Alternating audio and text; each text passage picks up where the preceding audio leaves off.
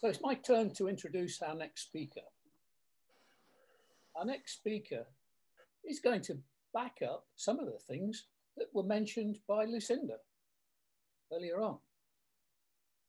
Our next speaker is Andy Hessey to talk about local radio and Facebook advertising. Andy joined Toastmasters in 2016.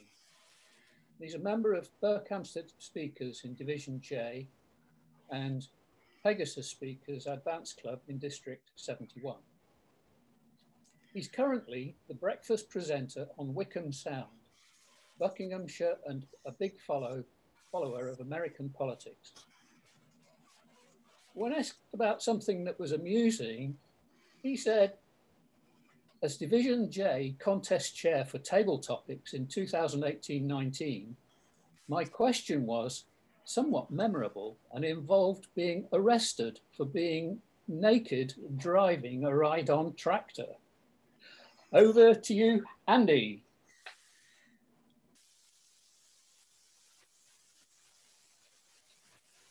And that went flat.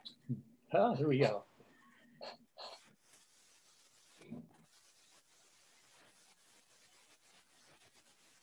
We're not hearing you, Andy, or at least I'm not.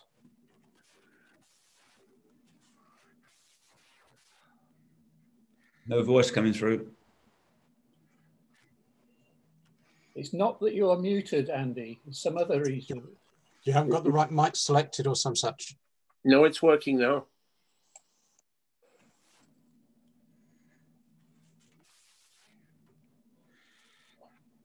I think the mic is just too big.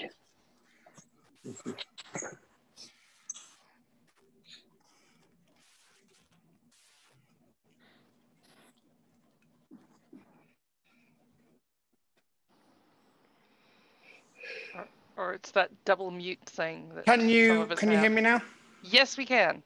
Uh, I the mic's been working because I've already been on a, a Toastmasters meeting this morning, but uh, it's it, it glitches out. So apologies for that. so very good afternoon to everybody. As Mike said in the introduction, um, I'm currently a breakfast DJ, um, not quite in the Smashie and Nicey vein, but I am currently working for a, local community radio station. My background is very much in media. I studied journalism at Southampton University, and uh, so I I come from a background of, of kind of media and, and entertainment. What I want to talk today is two things. Firstly, I want to talk about radio advertising in terms of Toastmasters. And secondly, I then want to talk about Facebook advertising. Now, these are two very, very different beasts in terms of advertising and, and promoting your club. They're not right for everybody. And this is just to inform people about what options are available. So, what I want to talk about this morning or this afternoon is what opportunities are out there in terms of radio. Uh, guesting is a really good alternative to advertising, advertising itself and costs. And then on Facebook, talking about how it works, pros and cons, and targeting your audience. I have to plug in here, love, because it's running out of battery. So, in terms of radio, just very, very quick uh, idea of some of the numbers involved here. Commercial radio started off in 1973 in the UK. We were very, very late starting. And in the, the short span of time, in just over 50 years, we've reached up to 600 radio stations now in the UK. And commercial radio in the UK has been a very, very slow burner, but for the last few years, it's really now starting to come into its own, especially when it comes to advertising. So there are effectively seven types of radio station. the first one is national radio. So your likes of Classic FM, Talksport, Virgin Radio. Your quasi-national stations, which are things like Heart, Capital, Greatest Hits Radio, which you've got a lot of in, in the South and Southwest. Uh, regional radio, so things like Wave 105, Smooth, Downtown. uh, ILR stations such as KMFM, uh, Lincs FM, Pirate FM is a great example in, in Cornwall. Community radio stations, you've got Apple FM, Riviera FM, Voice FM. Uh, you've got RSL stations, so they they are they are very individualistic stations, and then you've got student radio stations such as Expression FM, Surge, and Stag Radio. And it's this bottom three that we really want to kind of have a look at because the others just aren't really going to be within the price range of anybody from Toastmasters, and they're not going to have the desired impact either. One of the great things that you can do in terms of advertising Toastmasters is to be a guest on stations. And it's about building those relationships. Many people within District 91 know Sam Warner, who is, um, she was a, a former area director in Division J. And Sam, her business is, is speaking about autism. And she is a regular on BBC Radio Shropshire because she's built those relationships and she gets the odd Toastmaster plugin. And being a guest, being a, an expert in your field is a great way of being able to make these promotions for your club, to be able to talk about public speaking, to be able to talk about the benefits of Toastmasters free of charge in an informative and entertaining way. And keeping your local radio stations up to date is really important. Tell them when you've got open house meetings. I'm sure Rupert would love that. Radio stations talking actively about the next Toastmasters meeting or the next open house that you've got, or club contests perhaps.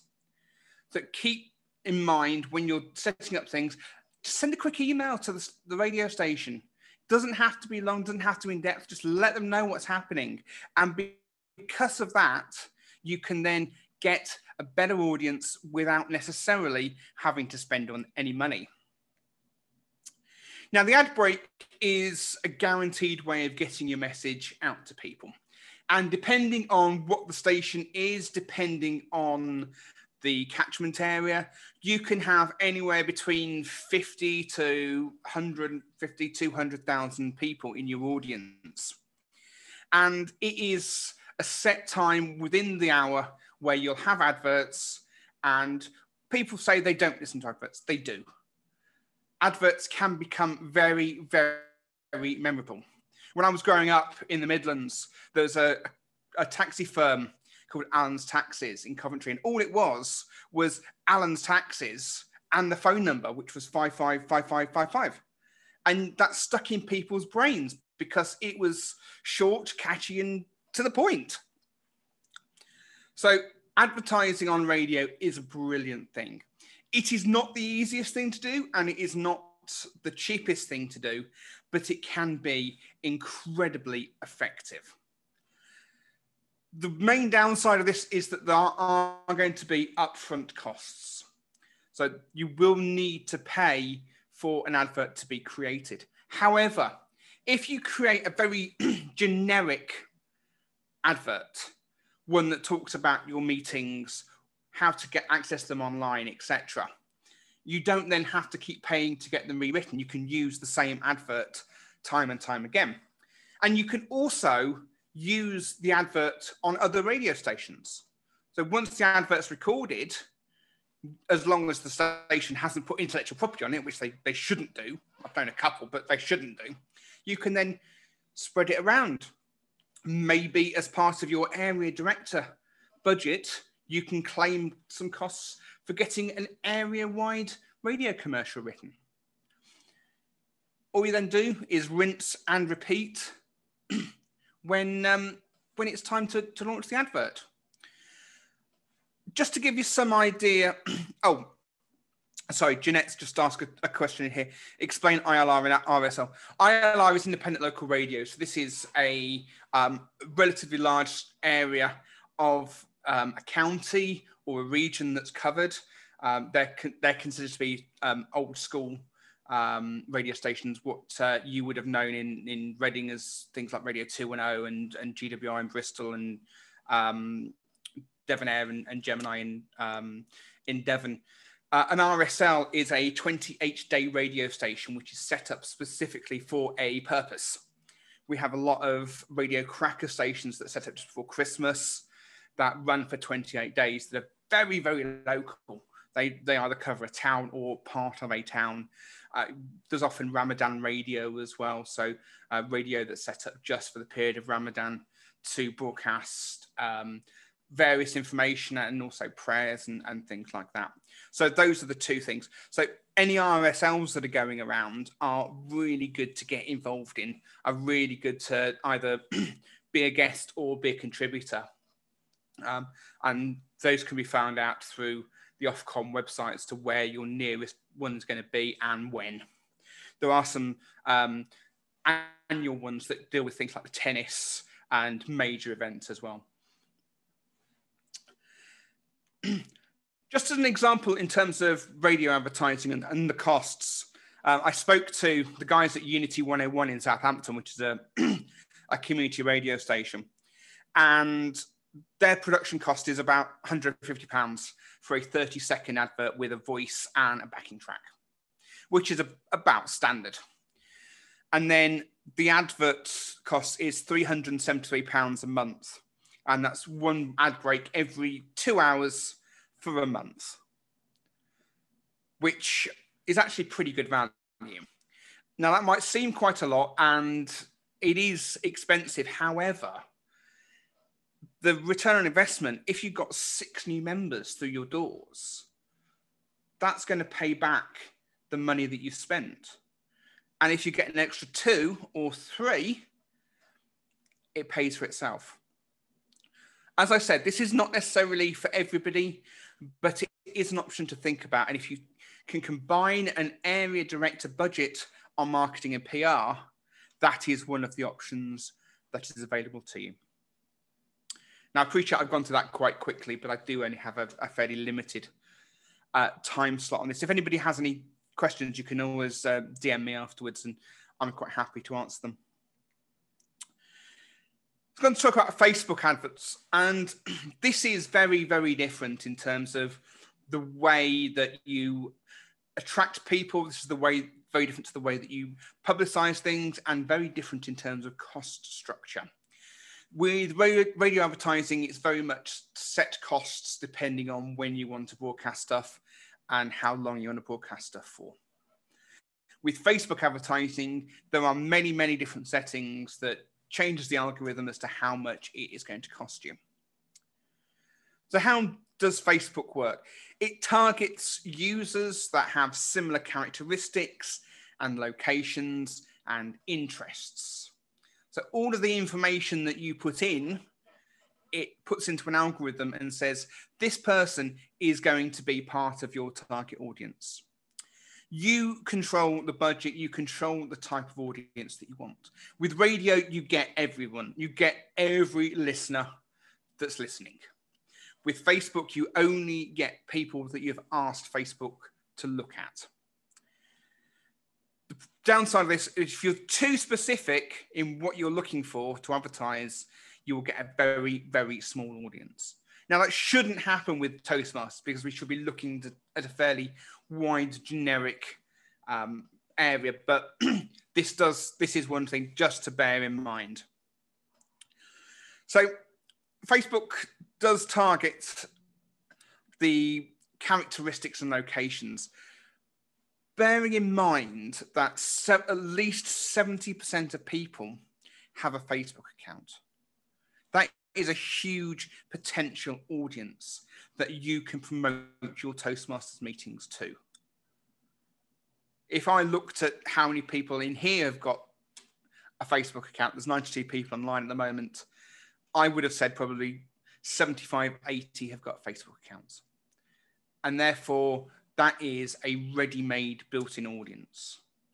With commercial radio, you may only get 5,000 listeners at one point. But with, as, as you will see in a minute, the, the audience is potentially huge. So the cons of this advertising is that if you don't have a Facebook account, you won't see the advertising. Again, with commercial radio, everybody that's listening will get that advert, but not, but if you don't have Facebook, you won't. The biggest audience is 25 to 34 year old men. Now, for some people, that's not a con. Some people, that's fine. but just be aware that the demographics are skewed towards that group. And when it comes to the 55 year old plus, that is quite a small proportion of Facebook users, and most of those are not highly active. So bear that one in mind when it comes to the demographics of the people you are trying to work with. And being too specific will re reduce your audience size.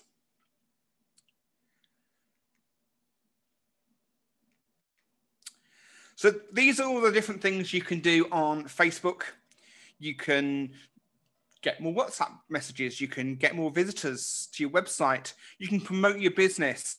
You can promote your page. You can promote your Instagram.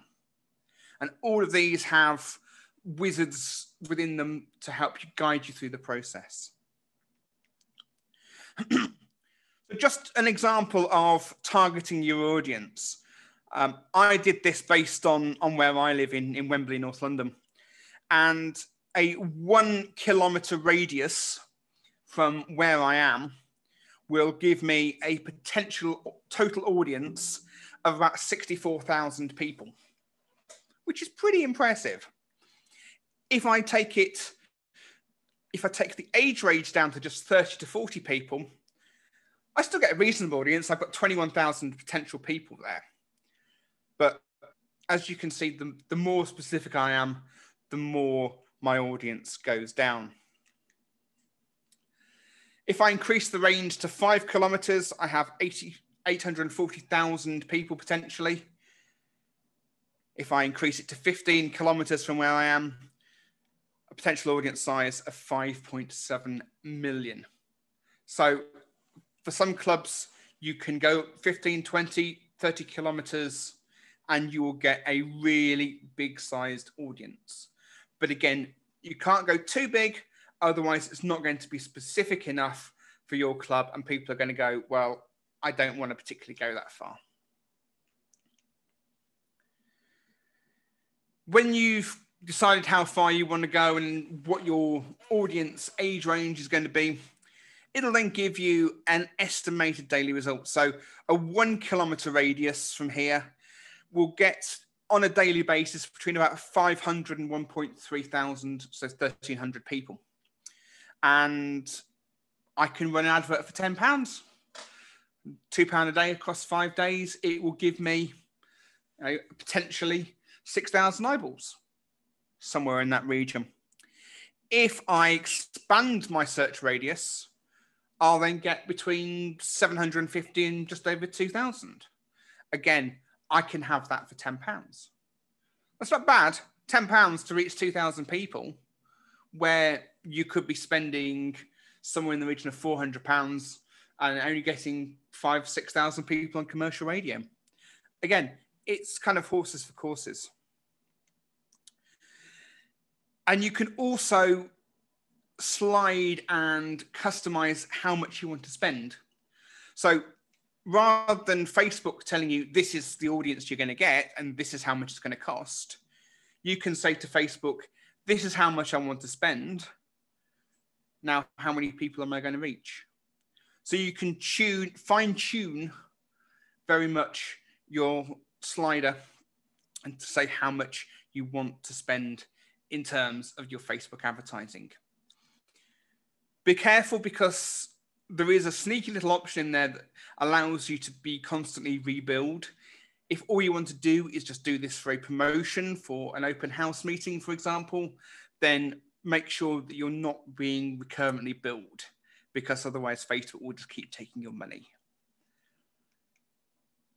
You get a lot of eyeballs, but it's how you market it yourself and how you get that interaction will depend on your success. So that is a very quick run through of the role of radio advertising and Facebook advertising. Um, I've just had a, a message from um, the VP at Spinnaker um, about having uh, sharing advert between uh, two or three clubs. Absolutely, I think that's a really good idea. Trying to maximize the value. Um, so you know, having having an advert that talks about the three clubs you could potentially visit would work nicely. It would help to c- cut the costs down and would then allow you a bit more flexibility.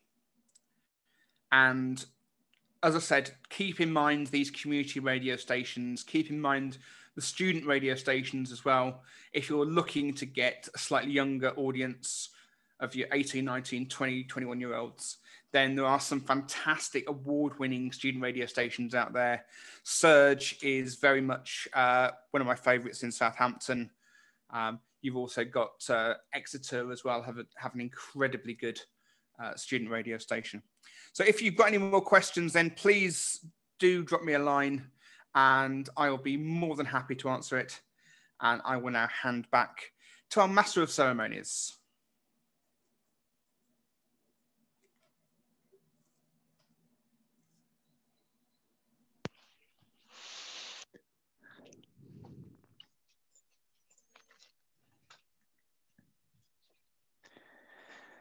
Thank you very much indeed, Andy. Uh, I was anticipating there's somebody else that was the master of ceremonies. But we're, we're finished a little early. Um, we have a, a break scheduled at 10 minutes past two, and I make it three minutes past two at the moment. So has anybody got any further questions they'd like to ask of Andy?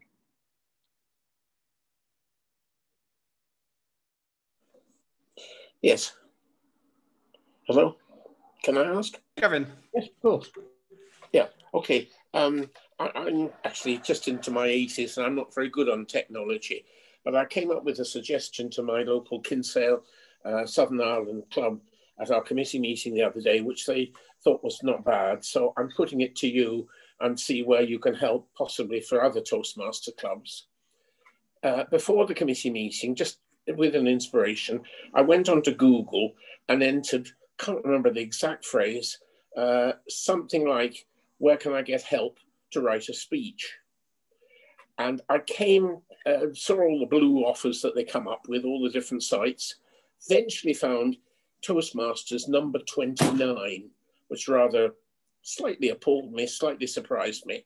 I then put in another phrase, I only did two, and they could have been any other phrases. Where can I go to an evening meeting with camaraderie? I found Toastmasters, a club actually in Ireland, um, number 49. And as I say, from what I understand, and okay, it's not my sector of society, as you say, it's going to be a, the younger fleet, but that's what we need as new members. Uh, how can I get Toastmasters up the scale so that when you ask these sort of questions, Toastmasters is appearing in the first, I don't know, maybe five to 10. And as I say, my club took it on board and said they're going to try and see if they can do something within, I suppose, Ireland. But I, am just throwing it out as an idea, uh, which hopefully you're not going to totally reject or may have some benefit. Thank you. Gavin, no, thank you very much for that. Um, so I think there's a, there's a couple of things there. Uh, the the the phrase the phrases that you actually put into Google are actually quite important. So if you put the words public speaking, just the words public speaking into Google, you find actually Toastmasters is, is either at the top or, or you know second or third down. So trying trying to put too many words into a Google search can be a bit of a nightmare. Uh, for clubs in specific, when you're doing your website, make sure that you have lots of metadata behind it. So Google search words, make sure you've got plenty of keywords embedded into your website so that Google search can easily find words like public speaking. Um, we've had people putting various strings in like uh, getting over your fear of public speaking or fear of public speaking. Again, clubs having these in their websites really helps to boost it. But it's it's also a case of the more people that search for Toastmasters, the higher the rank goes. Uh, so if everybody on here for the next five days does a Google search for Toastmasters or public speaking or words connected like that, the rank will go up because the influx of people um, will certainly help that. Um, so it's it's really narrowing down what you're searching on Google would be would be my suggestion on that. Um, but obviously, anything that we can do to, Okay, I to help understand. raise the Google search. so, sorry, sorry, Andy, again, if I can just kind of throw my spa- spanner, spanner in the works. Uh, search, Absolutely, engine, Kit. search engine optimization. Uh, so all the stuff you were talking about is uh, is SEO, um, and it is the sort of thing that Toastmasters International need to do well. Uh, District 91 and 71 need to do well, so that we come up higher on that on that ranking. Um, and it's it's links, like you said, it's it's a clever algorithm um, so that whatever somebody puts into the search engine, um, it's likely to come up higher. And the long and the short of it is, the more money you pay to Google, the more likely you are to come up higher on their uh, on their searches. Yeah, Thank you. Might, might I just add one little comment that what I was trying to do was imagine I was Mr. Joe Soap. So maybe that's why it was a bit more long-winded. But I, I wasn't a, a, Facebook user. I was just trying to seek information. So imagine I'm out in the field, so to speak. Uh, that hence that's uh, explains slightly uh, my long wordiness. Although I think I am a bit of a long word uh, type of. Thank you. Gavin, the other important thing you have to understand it is it is a very dark art the uh, the Google algorithm. So um, don't don't be surprised that people don't understand it. Could I ask? Could I ask? Could I ask you? Rural Dorset, rural, you know, big wide areas, low population.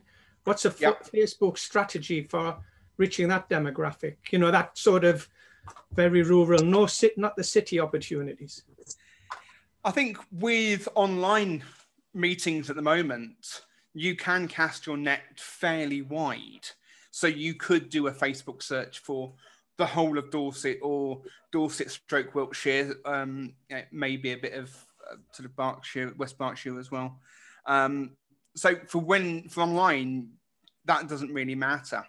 I think for rural, when you're back to physical meetings again, I think it's a case of using Facebook with other strategies. So again, talking about things like the going back to the radio, using things like BBC Wiltshire Sound, um, using BBC Dorset uh, as guests, as contributors, uh, would you know, help increase that visibility, would help increase that um, reach of people. And some there are some uh, small community radio stations around Dorset that uh, are starting to get some quite good traction nowadays. So again, try and try and hunt them out and and start to work with them to help craft a bit of a, a media strategy. Thank you very much, Andy. It's now rapidly approaching 10 past two. We have a 10 minute break and then we'll resume. No, sorry, a five minute break. Apologies. A five minute break. We'll resume at quarter past. So a short break